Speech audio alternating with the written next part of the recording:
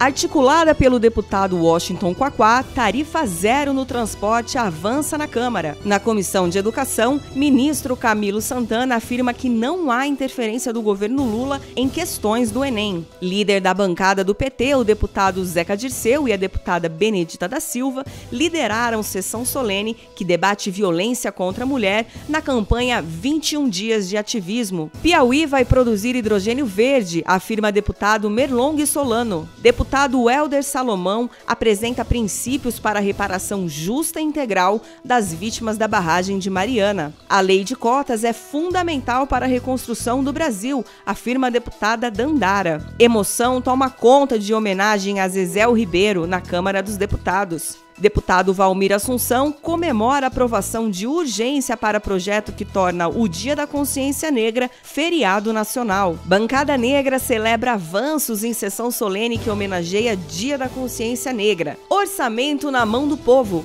Relator do PPA, deputado Bom Gás, destaca o plano plurianual mais participativo da história. Saiba mais em ptnacâmara.org.br.